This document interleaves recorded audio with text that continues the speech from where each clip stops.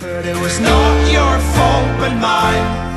And it was your heart on the line. I really fucked it up